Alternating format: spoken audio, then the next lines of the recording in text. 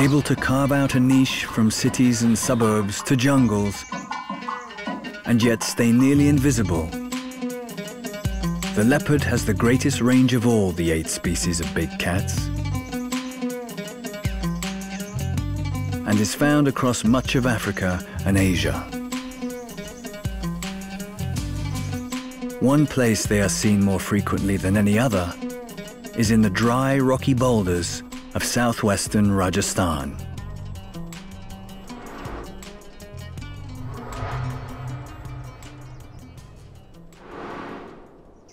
Here, the great Indian desert meets the Aravalli, one of the oldest mountain ranges in the world.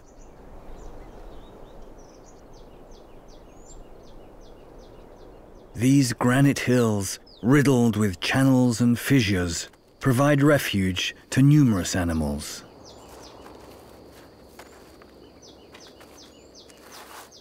And form the perfect den for these leopard cubs.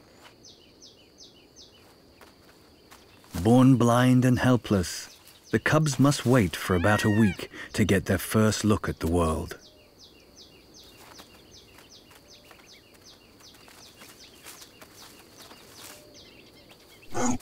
Every few days, their mother moves them.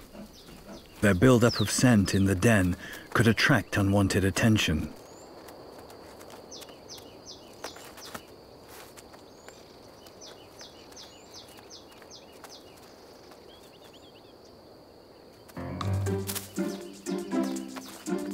But getting them on board is literally like herding cats.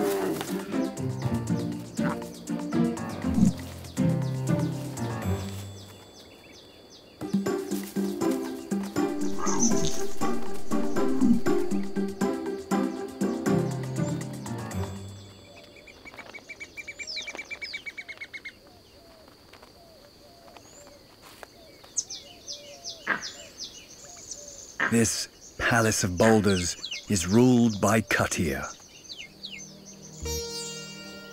Named after a battle scar he earned while clawing his way to power.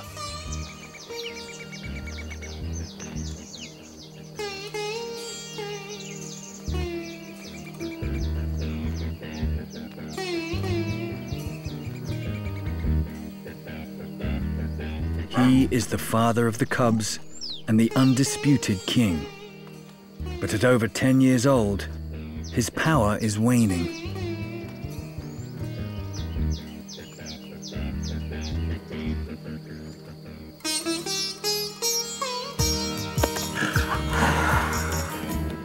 And other males wait for any sign of weakness so they can pounce into power.